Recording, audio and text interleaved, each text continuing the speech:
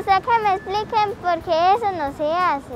Cuando yo me equivoco, me gusta que mis papás me corrijan, me aconsejen y me ayuden a mejorar para no cometer más errores. Por ejemplo, mi mami me, dice las cosas que, hice mal y que me da, eh, eh, por ejemplo, me, eh, me explica cómo debo hacer las cosas y ese tipo de cosas. Cuando yo hago algo malo, mis papás me dan un consejo como que no lo vuelvas a hacer porque esto aplica ciertas cosas que a nadie le agrada o que son malas para la convivencia.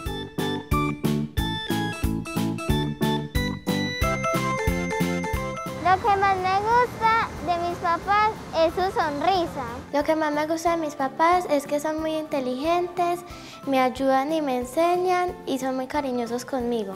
Que me dan muchos besitos y que me, y que me explica las actividades cuando no entiendo y que también eh, le gusta jugar mucho conmigo. Siempre quieren que yo haga lo correcto y que sea una persona responsable como ellos y tenga mis propias decisiones.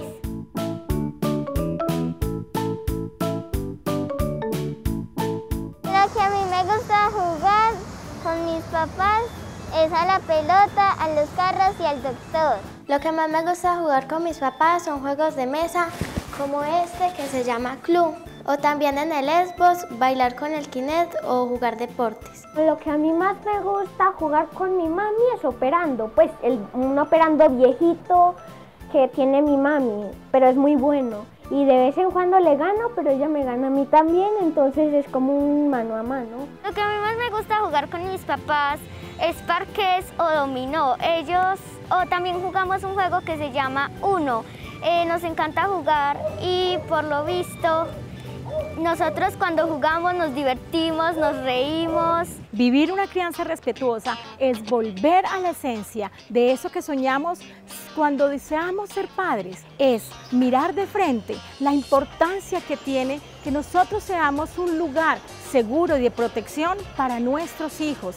Es conectar con su mundo emocional y así, desde allí, ayudarles a regular sus comportamientos y sus emociones es mirar, es abrazar, es jugar, sobre todo jugar.